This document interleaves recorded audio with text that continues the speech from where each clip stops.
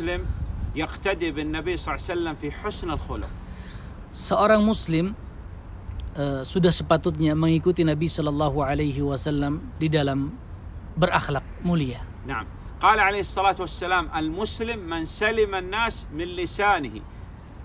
Kata Nabi sallallahu alaihi wasallam, seorang muslim dikatakan muslim ketika manusia terselamatkan dari bahaya lisannya. Naam.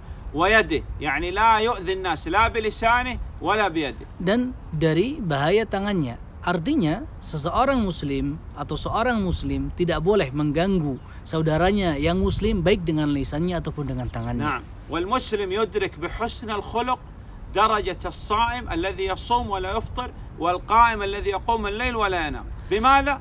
بحسن الخلق Seorang muslim bisa mencapai derajat seorang yang sholat tidak pernah putus dan puasa tidak pernah henti dengan dengan akhlaknya yang mulia. نعم وهذا فيه اقتداء بالنبي عليه الصلاة والسلام والله أعلم Dan dengan kita berakhlak mulia berarti kita mengikuti uh, suri toladan kita Nabi Muhammad sallallahu alaihi wasallam.